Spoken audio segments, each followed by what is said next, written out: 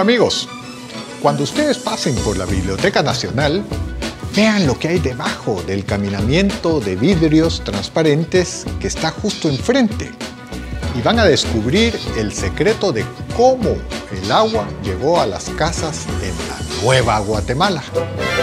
En el marco de Guatemala, capital iberoamericana de la cultura 2015, la Municipalidad de Guatemala y Canal 3 presentan Secretos de mi ciudad.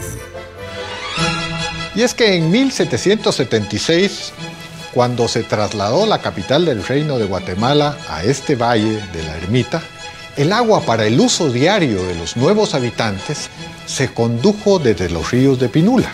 Le encargaron al arquitecto mayor Bernardo Ramírez que construyera un acueducto para traer esa agua hasta aquí.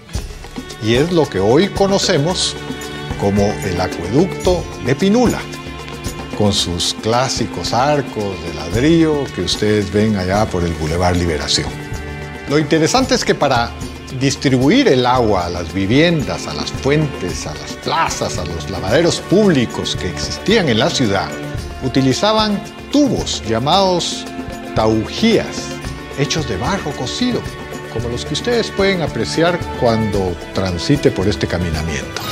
En los inicios del siglo XVIII estaba en este lugar el Palacio de Gobierno, y cuando hicimos la remodelación de esta vía en el 2010, encontramos estos vestigios de las tuberías que tenía este edificio por donde se conducía el agua de consumo y los drenajes de aguas servidas. Al observar con detenimiento, resulta admirable el esmero y la perfección con que estas piezas fueron hechas. Y todo a mano. Realmente eran unos maestros artistas de la construcción.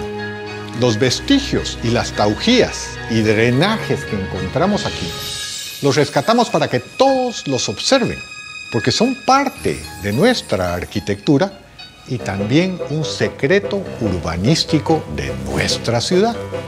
Los veo el próximo miércoles. En el marco de Guatemala, capital iberoamericana de la cultura 2015, la Municipalidad de Guatemala y Canal 3 presentaron Secretos de mi ciudad.